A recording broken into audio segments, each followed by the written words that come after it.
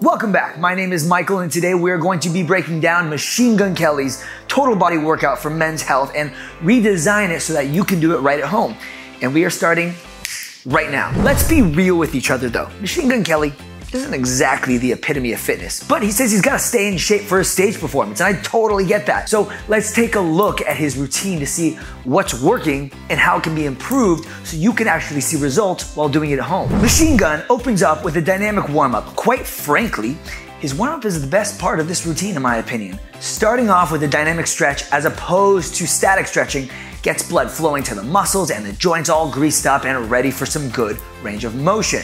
I actually really like this warm up routine his trainer designed for him. He's got his routine programmed with 30 seconds of adductor rock back with T spine rotation. Say that 10 times fast. Do that for three sets on each side. Follow that up with staggered leg squats, 10 reps per side. 20 regular squats are just fine here as well. The staggered leg is just a slightly more athletic position. Followed by 10 push-up shoulder taps. This is more of a main exercise than a warm-up, but we'll let it slide. Finish it up with a three-way hip flexor dynamic stretch. Nine reps per position for each leg. I love this stretch. This one feels really good. One thing I wanna say about warm-ups is that you should do them until you are warm. He's got a set amount of time or reps for each exercise in his warm up. This isn't a bad place to start, but sometimes you just feel a little more stiff on some days and a little less on others. Sometimes you only need a five minute warm up, sometimes you need 10 minutes. I advise that you learn to listen to your body as much as possible and warm up each body part until it feels loose and ready to go. When in doubt, just do a little extra. Now he starts off his actual workout with a staggered stance deadlift. Not sure why he does all these staggered stances. They're no more effective than a Romanian deadlift or a single leg deadlift, which is something I think you might opt for instead if you're doing this at home. If you've got a couple heavy kettlebells or dumbbells at home, this can work fine. But if you don't, you can take a bag or a backpack, fill it up with some books or weights, and use that to perform some single leg deadlifts to increase the tension for each leg. He does three sets, eight reps per side. Now, if that's as many reps as you can do with the weight that you have, perfect. But if you can do more, do more. You don't get stronger unless you overload the muscles. The last rep should be really hard to do. That's a good rule of thumb for most resistance training exercises in general. Next, he moves on to the incline bench press. Great exercise for upper body strength and development. And he's obviously making a joke when he says 250 pounds each. But I love that his trainer tries to make him seem a little bit cooler by saying that they're only 90 pounds each. These are only 90s a piece. Uh-uh. There's no way those things are 90 pounds each. Not with that frame. He's also repping those out way too easily for them to be that heavy, which is also why he should probably be doing more than eight reps a set if he's trying to get stronger. If you don't have an incline bench at home, then decline push-ups are your friend. Three sets of as many as you can do if you want to get stronger. After that, he's got five rounds of medicine ball throws and some boxing. Not sure why these are put together in the same exercise other than it looks kind of cool.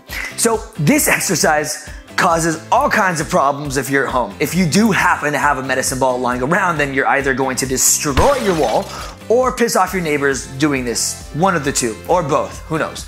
Instead, grab that backpack and do 30 seconds of twisted side lunges to activate the core in the same way.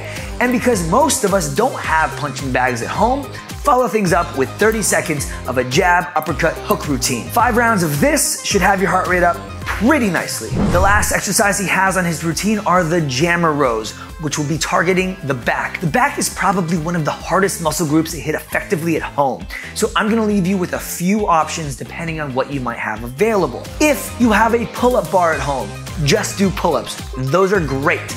If you don't have one, they're somewhat inexpensive, 30 to 40 bucks on Amazon for one that locks into your doorway. Great investment if you want to target your back at home. If you don't have a pull-up bar or don't want one, you're gonna have to get a little more creative. If you have blankets or old scarves lying around, then take two and tie a knot in one end of each blanket or scarf. Throw it over the top of the door and shut it so it's anchored in place. This is a great way to get rows in using your body weight. Your angle to the ground will dictate the difficulty. Alternatively, investing in a resistance band can allow you to mimic the row movements by anchoring the band around your feet. You might want a strong resistance band for this one. If using a light resistance band, you might find that you can sit there all day doing rows before you get fatigued. If none of those options are available, grab that bag again and go for some one arm rows. Make sure you keep the back straight and perform reps for each side. Whichever method you choose, do three sets and as many reps as possible. I feel like I'm saying this in all my videos, so at the risk of sounding like a broken record, remember that this routine and any workout routine is only going to work if your diet is in check. Trying to lose weight? Eat in a calorie deficit. Trying to gain weight? Eat in a calorie surplus. Going for total body recomposition? Eat around maintenance calories. And no matter what your goal is, stay consistent and give it time. It's not gonna happen overnight. If you need help getting started, go check out some of my other videos and subscribe for future videos. Until then, I'll see you in the next one.